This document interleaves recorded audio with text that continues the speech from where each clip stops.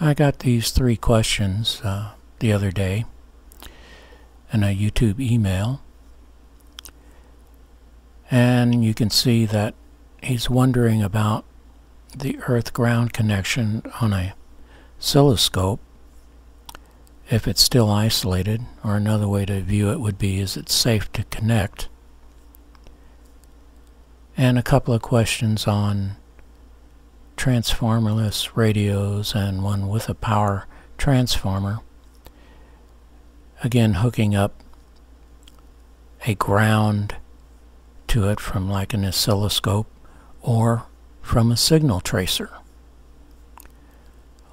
Well, I thought the place to start would be to take a look at what power actually is.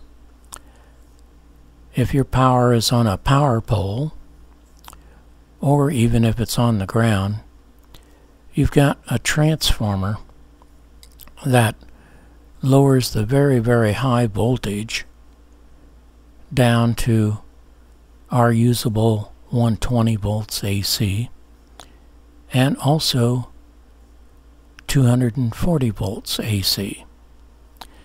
Now if you take a look at the center, the center connection is the neutral, but it also is the earth-ground connection.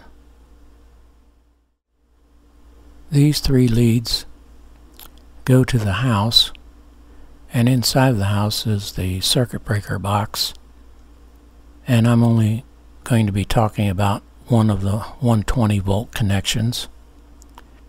You can see that in the circuit breaker box that's where we get our white wire, our green wire, and the black wire. The white wires are neutral, the green wire is our earth ground, and of course it's the same thing. And our black wire is the hot wire.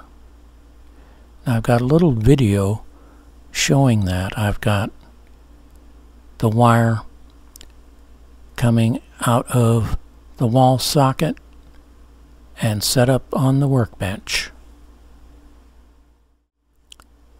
Okay, here's the setup.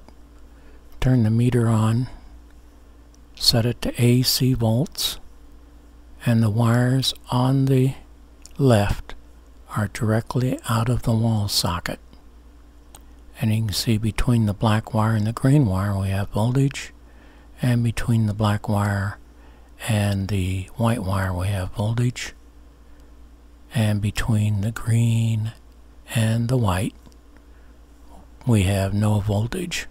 I'm going to put that on ohms and measure between the white and the green. And we have about 8 ohms, a little bit over.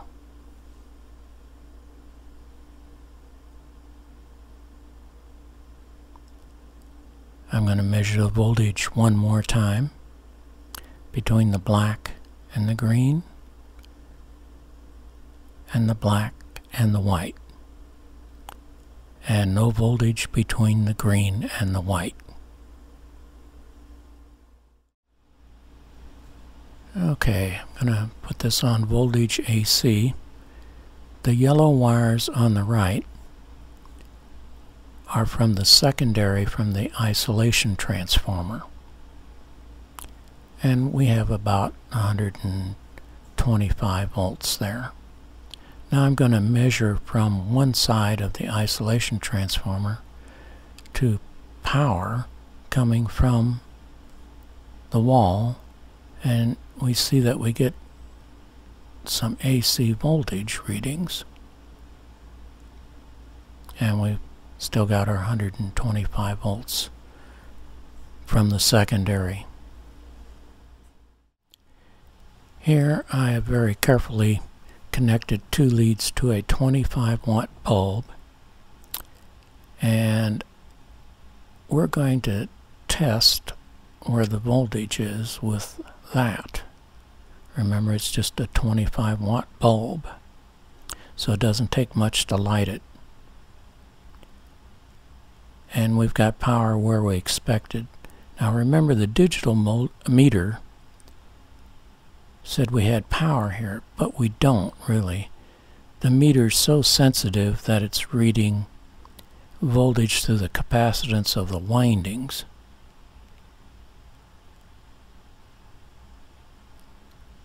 So as you can see, we've got our voltage where we expect it to be.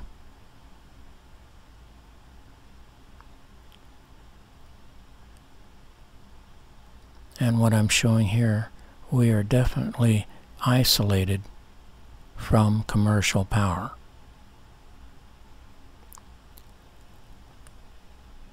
Now I'm going to hook up the ground from my oscilloscope, which the center lead is earth ground, and that's what this lead is right here. It's the ground from the oscilloscope, and of course it is plugged in to the wall. And now we're going to probe around and see where that light will light. Not on either side of the isolation transformer. Or the neutral or the ground. But right there of course we have power. And it would not be safe to connect the scope to that lead. I always use an isolation transformer. Not only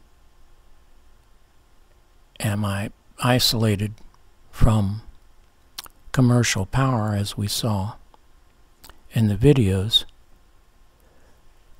but out of the socket in that room that I'm working in,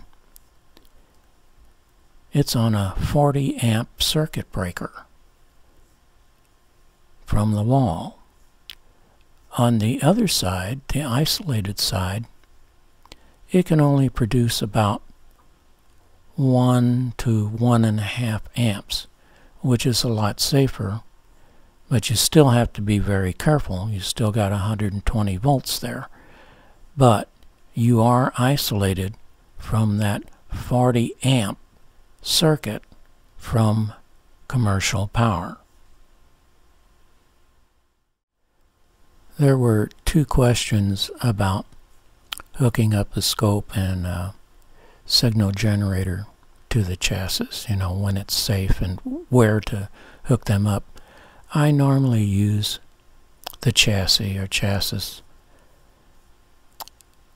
and with the isolation transformer, it's always safe to hook the scope up to it and your signal generator. And you have to keep in mind the frequencies that we're working with. It'll be 455 kcs about, or if it's FM, 10.7 megahertz.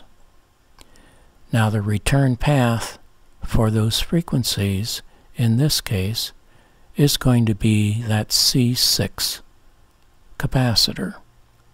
Those frequencies will pass through that dot one microfarad capacitor like it wasn't there, like it was a direct short. And I've got um, the whole diagram links to these chassis if you want to download them and, and take a look at the entire diagram. The other question was on transformers, power transformers in the chassis, where to hook up the test equipment, the oscilloscope and signal tracer. Well, you can see that on the power side, the primary of that transformer, it's not co connected anything except to a switch and then into power. And again, if you put your oscilloscope and signal or your signal generator on the chassis, the return path is going to be through the capacitors in that chassis that are connected to ground. I hope this helps in answering some questions about isolation transformers and how you can hook up your oscilloscope and signal generators. And as you know, I always have the chassis of the radio plugged into an isolation transformer without fail. It's very important. Thanks for watching.